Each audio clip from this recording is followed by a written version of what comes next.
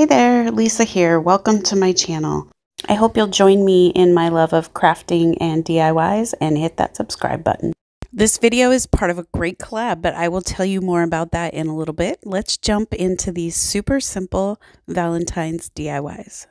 For DIY number one, you'll need one of these hearts that you can pick up at your local Dollar Tree. And we are going to leave it the way it is, and we are just going to work on the backside.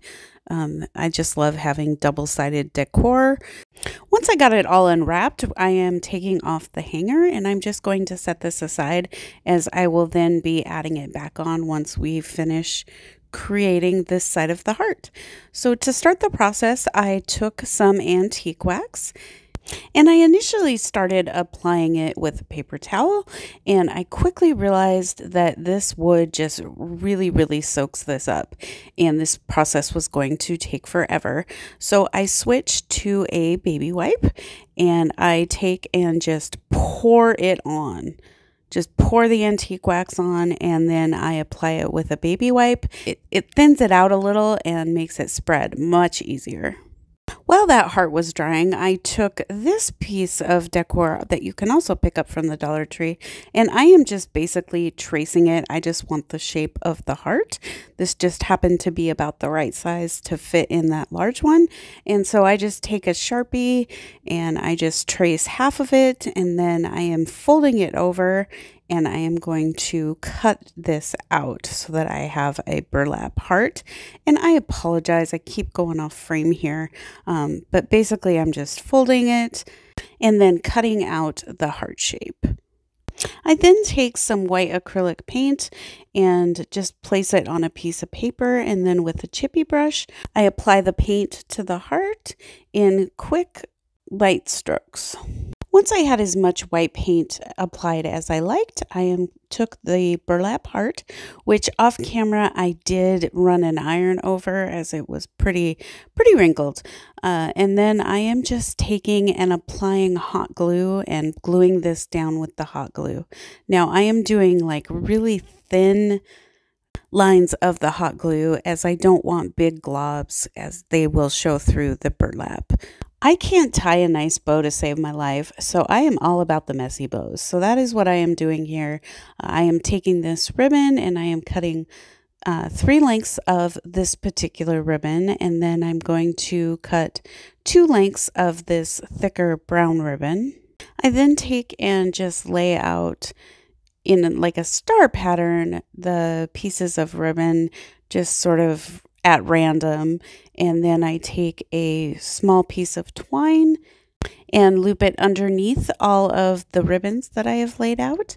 And then I just simply tie it in several tight knots.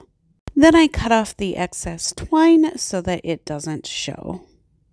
Using the hot glue gun, I just take and glue the bow to the top of the heart. And lastly, I take and hot glue one of the burlap roses to the center. I reattach the hanger and this super simple DIY is done. Here is a quick peek at it. Stay tuned for more at the final reveal. All right, let's talk about this great collab that I am part of. It is hosted by Christine at the DIY Craftaholic and Tami at Happiness Created. Here, you try it 2.0. And basically, what we did is we drew names, and whoever's name we got, we sent them the base craft supplies to create three of our DIYs. With those base supplies, then the receiving person would create something similar, add their own embellishments and their own style, and make it their own, and all with a farmhouse theme. All right, so I sent my package to Cynde with Z9 Designs, so be sure to see what she made. And I received my package, my huge package, from Donna at the Creole Crafter. She seriously spoiled me so much. I cannot thank you enough. Thank you, thank you, Donna. And she chose for me to create three DIYs from her Dollar Tree Farmhouse Valentine's Decor video. All right, friends, go check out all of these lovely ladies' channels as well as the full playlist. All of the links to everything you need will be in my description box below. All right, let's get back into the DIYs. For DIY number two, I took this little house that Donna sent me, and then I had this uh, heart ornament in my stash. So I am going to use that.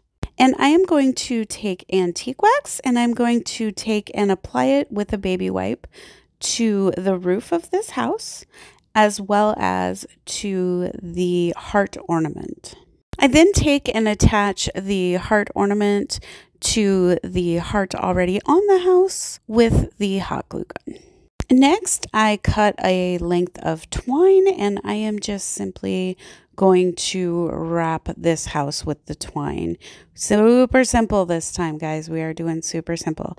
So I take a little bit of hot glue and glue the start of the twine to the back and then I am just going to wrap it. No rhyme nor reason, just what I think looks good. And then I glue the other end to the back of the other side of the house.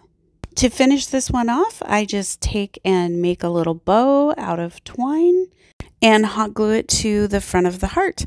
Now, if you notice, I placed it right on where the hole in the heart is just to cover that up. And that is it for this one. Here's a quick peek, more at the final reveal.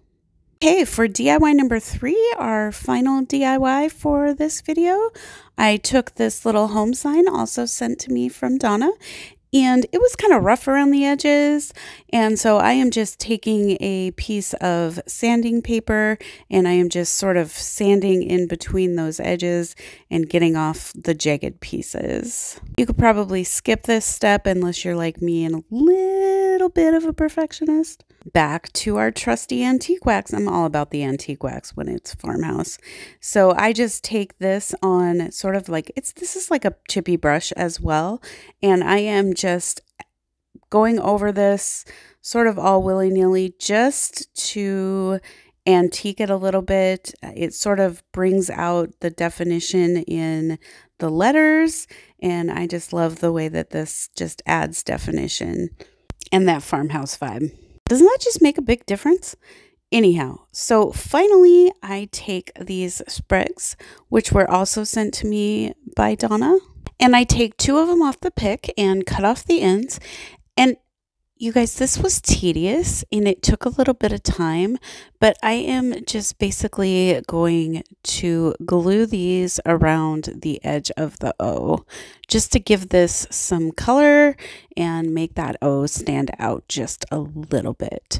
And so, like I said, I am going to really, really speed this up, but this took some time and some patience, but simple hot glue and stick it down process here. And here's a quick peek at how it turned out.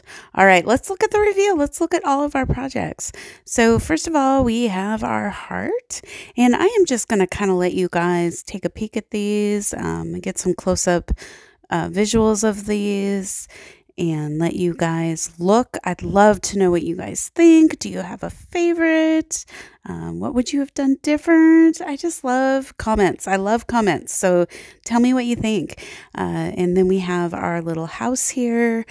Uh, this is super simple too, um, but you know, I'm just loving the simple neutral colors in these DIYs. Uh, I want to quick shout out to all the wonderful ladies that made this collaboration possible.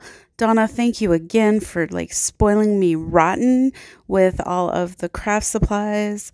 Uh, I need to do another video. I got so much great stuff. And I just really want to say thank you to my subscribers and everyone who watches my videos. It just means the world to me. And thanks for stopping in today. I hope you have a great day. Take care. Bye bye.